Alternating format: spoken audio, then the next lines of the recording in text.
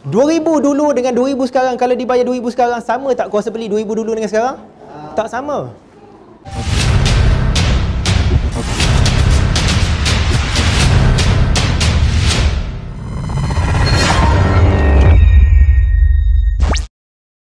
Okey, emas boleh jadikan alat pinjaman. Ha. Kalau ada orang nak pinjam duit, jangan bagi pinjam duit. Tuan-tuan dah belajar emas, dah tahu tentang kuasa beli, siapa nak pinjam bagi pinjam emas. Sama ada dia nak jual ke dia nak pajak emas tu, itu hal dia. Sebab apa? Tuan-tuan bagi pinjam, ini cerita saya eh. Saya bagi pinjam kepada kawan RM2,000 10 tahun yang lalu. Dia nak kahwin. Zul pinjamlah aku nak pakai duit. Lepas majlis ni, bulan depan aku start bayar RM50 sebulan. Sampai sekarang 10 pun tak bayar. Kalau dia bayar sekarang, boleh tak saya claim dia minta dia bayar RM4,000? Sebab dah lewat? Tak boleh, dia jadi riba. 2000 dulu dengan 2000 sekarang kalau dibayar 2000 sekarang sama tak kuasa beli 2000 dulu dengan sekarang? Uh. Tak sama. Jadi kita rugi dari sudut kuasa beli. Tuan-tuan dan puan, bank Islam pun tak ada bagi pinjaman cara Islam tau. Ada tak Islamic banking bagi pinjaman cara Islam? Cuba tengok term. Akad akad tu ada akad pinjaman? Tak ada. Akad pinjaman pinjam 2000 kena bayar 2000. Bank Islam pun tak bagi pinjaman dia bagi pembiayaan. Akad tuan-tuan buat uh, dia panggil financing eh. Produk Islamik dia panggil financing, bukan loan. Financing ni bukan akad pinjaman, dia akad jual beli. Beli kereta harga RM50,000. Tapi akad dengan bank jual beli RM60,000. Kita bayar ansuran.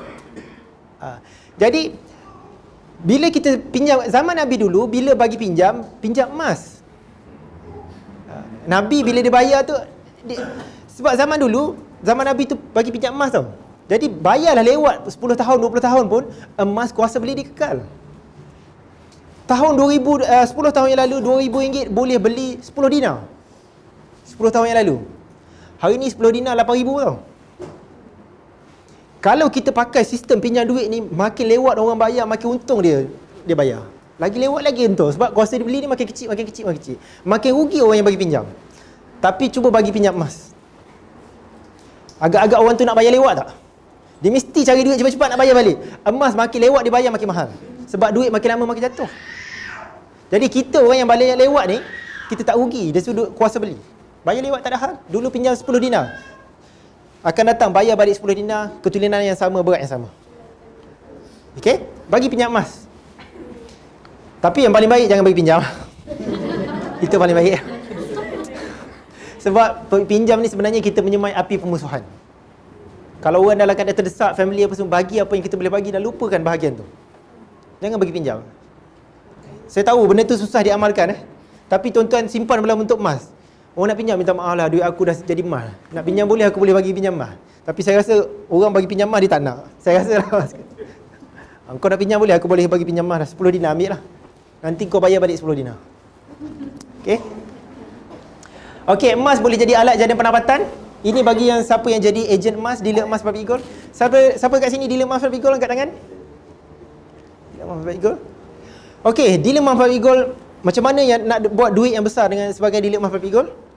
Ilmunya ada di juta, jutawan emas leadership training.